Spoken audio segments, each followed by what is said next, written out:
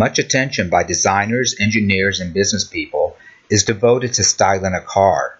Every angle, each surface, and all materials are scrutinized to create a sculpted-like art piece that eventually leads to concept and then a production model. As the buying public, we spend a considerable amount of time appreciating the beauty of cars, anxiously awaiting each new model year. The motoring press and the manufacturers tease us with the photographs of these fine machines. Usually the photographs show the vehicle's exterior in some setting that appeals to our aspirations. Often, technologies, whether it be powertrain, safety, or new convenience features, dominate space in articles and advertisements. Occasionally, the photographs may show the utility, comfort, or luxury of the seats. Less common are photographs of the dashboard panels, gauges, and controls. I find this curious. I believe that as drivers, we spend more time looking at the dash than any other part of the car. We spend countless hours driving to work, school, shopping, and recreation. We're always, or should be, checking our speed, the status of the car's condition via the gauges and warning lights, and adjusting controls such as climate and entertainment. This is where time should be invested. The design of the dashboard should not merely satisfy the driver, but endeavor to ensure driver pleasure in functionality, layout, tactical feel, and visual attractiveness. As I was researching the coverage of instrument panels and manufacturers' press materials and brochures, a curious pattern emerged. Unless the dash, gauges, or controls introduced a new technology, dashes were rarely covered or photographed. Even rarer was the presence of an illuminated dash, that became the subject of this book. I limited the time period of my research of the 60s through the 90s. Up to the mid 60s, most manufacturers' advertisements and brochures were drawings, not photographs.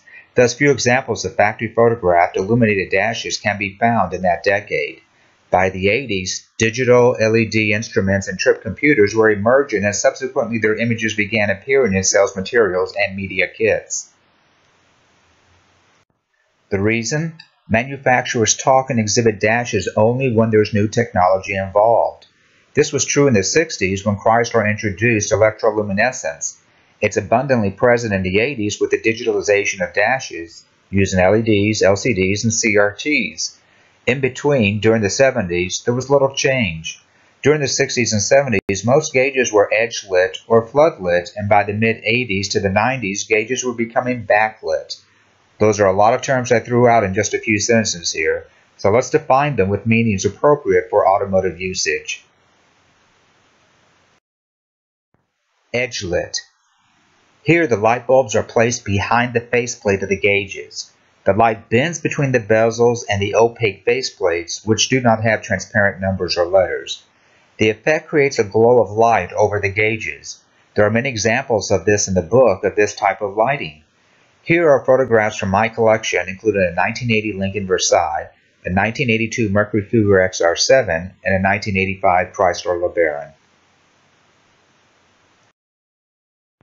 Perhaps more so than any other manufacturer photograph that I encountered, this one stages and catches the ambiance enjoyed by the glow of edge-lit dash lights, flooding their instruments and gauges and filling the space with almost fireplace-like warmth and serenity.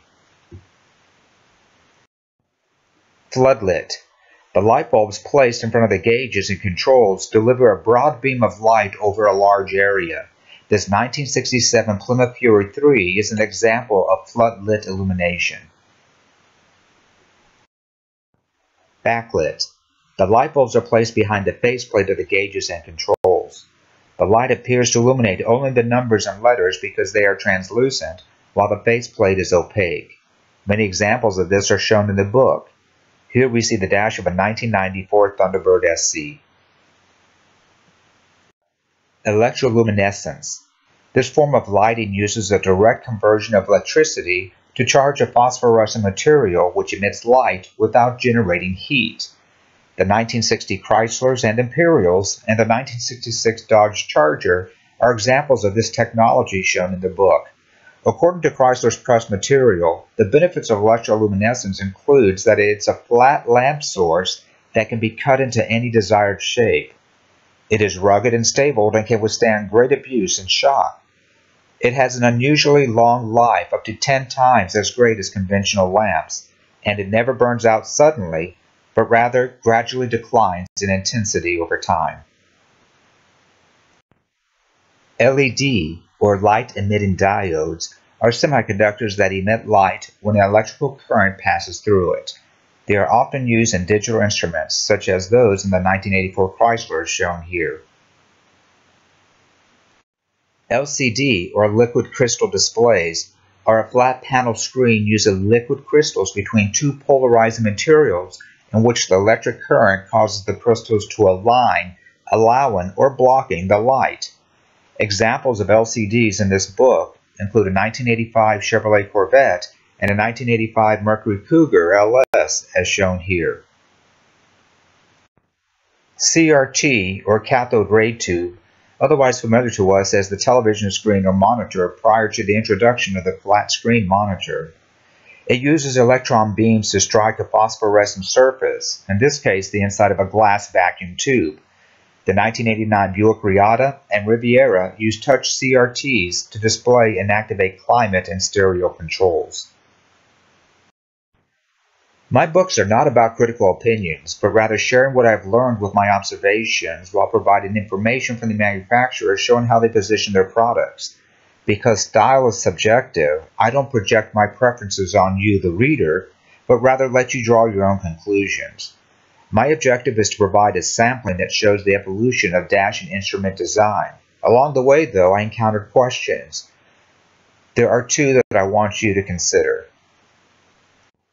First, do analog gauges make cars sportier? At first, digital readouts and gauges and controls implied a greater technical prowess and achievement. As digitalization proliferated, a backlash from purists decried the use of digital instruments in sport cars. Yet manufacturers believed that a quick glance at digital gauges were faster to read, allowing the driver to rapidly return their eyes to the road. Some cars combine both analog and digital instruments for the same function, speedometer, tachometer, fuel, etc., giving the driver the best of both worlds. What are your preferences? My second question I want you to consider is do lighting colors make a difference? There's a variety of light colors across all manufacturers and sometimes within a manufacturer's lineup in a single model year. Red and orange imply sportiness, blue and green seem to calm, and white optimizes clarity. In my experience, the red-orange illumination made me uneasy as I associate those colors with warnings. I felt the whole dash was telling me there's something wrong with the car. Then as I acclimated to the color, I was worried that I would miss a warning light. I found white, backlit, illuminated gauges were very clear, if not boring. I favor the green and blue light colors. Think about your experiences. Do you have a dash light color preference, and would it impact a car buying decision? If you're like me, perhaps you can't wait for nightfall and an airing just so that you can turn on the lights and drive in all of these interior brilliances.